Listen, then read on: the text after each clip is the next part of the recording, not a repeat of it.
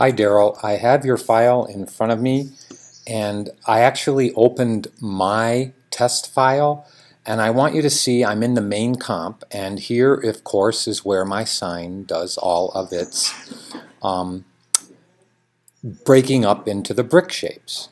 So what I'm going to do is I'm going to show you that um, that happens if I click the sign comp which you made correctly I'm going to hit the I key and I'm going to show um, that it comes in at 21 seconds 10 frames. Now, obviously mine is on screen, right? Okay.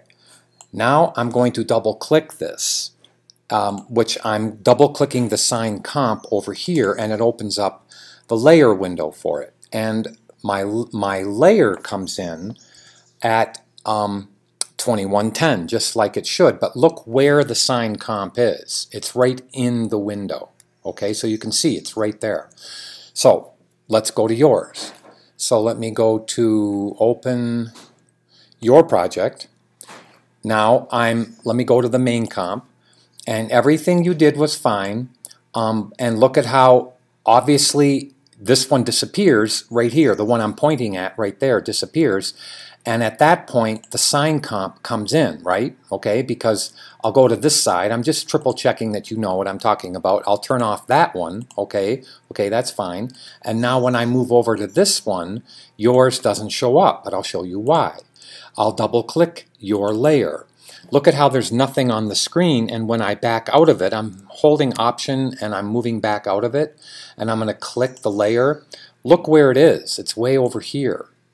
So it's off screen. So what I have to do is size it and my um, I'm going to check the composition but mine was 640 by 480 so I'm going to command Z it back first and then I'll even go to mine and I'll first hit um, let me go to the composition settings and make sure it's 640 by 480 so you're fine let me go check mine and I'm gonna go to the size scale you know and position. So let's go open mine again, just so I have all those numbers.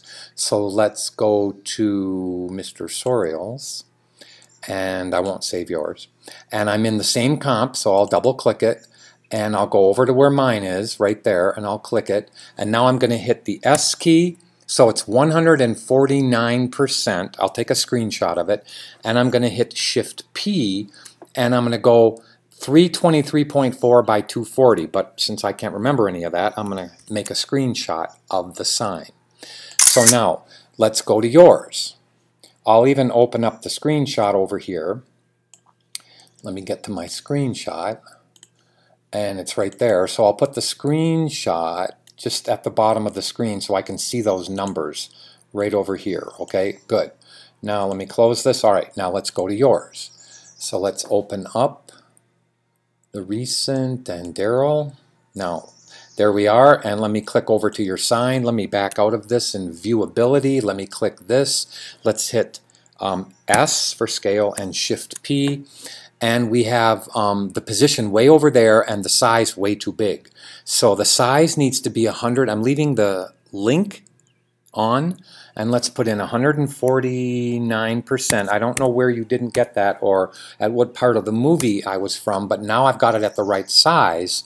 And then just go ahead and put in my 323.4. So this is 323.4 and then it's at 240. So now look where yours pops right in the screen. I'm going to hit Command S to save the file.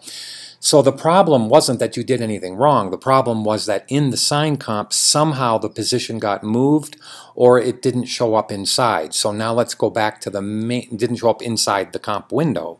Should have finished my sentence. Now I'm going to click the main comp here Let's um, let me just expand this out now. Now I'll go across this one and we have still wireframe and forces. So I have to go into the shatter effect and switch it to the rendered view and that should be it. And now there it is. So you didn't do anything wrong. You positioned the shatter effect really nicely, but the shatter effect was shattering nothing because the sign was way, way over to the right. Okay, so this is yours and it's working. So go ahead and make that change and let me know if you understood. Thanks.